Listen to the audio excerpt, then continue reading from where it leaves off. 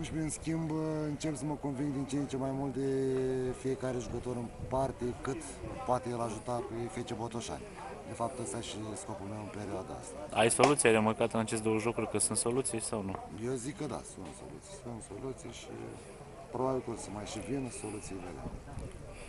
Va E- pleca vreun jucător după meciul de azi? Bă, nu știu, Cone. Trebuie să plece sau nu. Și de venit cine mai vine? Nu știu cine să vină, dar mai sunt trei săptămâni, vedem, mai vreți toate...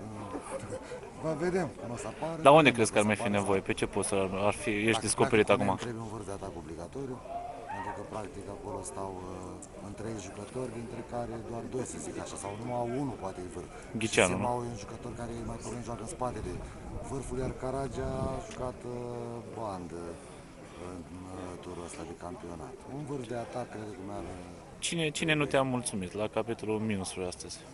la capitolul minus. Am zis, uh, golul care l-am primit.